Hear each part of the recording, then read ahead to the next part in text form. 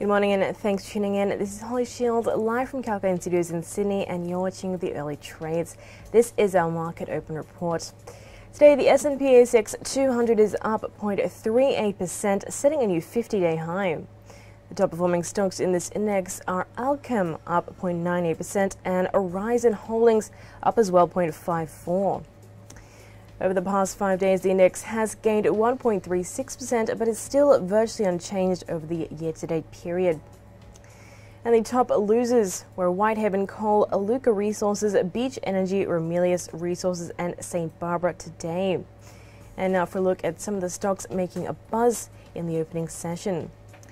MyDeal.com.au is pleased to announce the launch of its new marketplace, Amazed.com which is an open marketplace of activities and experiences built for locals, helping people seek, discover, and experience a more inspiring life.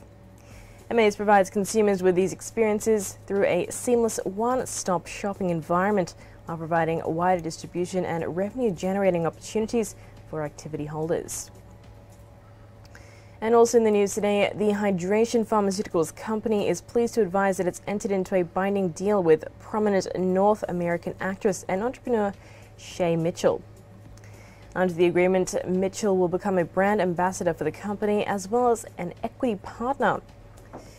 Mitchell is a Canadian born actress, model, and mother, and she has a significant social media presence, boasting over 32.5 million Instagram followers 3 million on Twitter, and 4.23 million YouTube subscribers, as well as over 6.8 million followers on TikTok.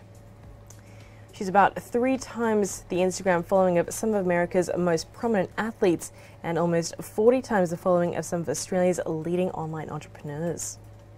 Mitchell is best known for her roles in Pretty Little Liars and You, and she's currently starring in Hulu's Dollface. Also in the news today, Telstra announced the remaining steps required to finalise its proposed legal restructuring over the course of 2022. The company is using a scheme of arrangement to implement key parts of the restructuring as most practical and efficient way to create a new Telstra group. The restructure involves a transfer of assets and liabilities within the entities of Telstra Group and the scheme arrangement will enable those assets and liabilities to be transferred by order of the court. Once the new holding company is in place and separate to the scheme, Telstra intends to establish its international, rather, business under a separate subsidiary within the Telstra Group to keep that part of the business, including subsea cables, together as one entity and as well a leading location intelligence and aerial imagery company Nearmap has reached another key financial milestone, achieving for the first time an annual contract value of $150 million for its group portfolio.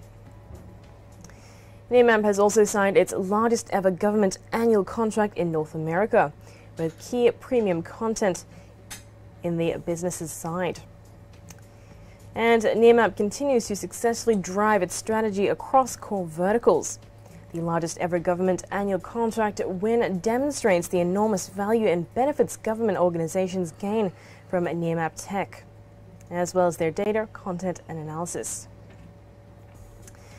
And another headline today Lake Resources advises that it's signed a non binding memorandum of understanding with a major Japanese partner, Hanwa Co.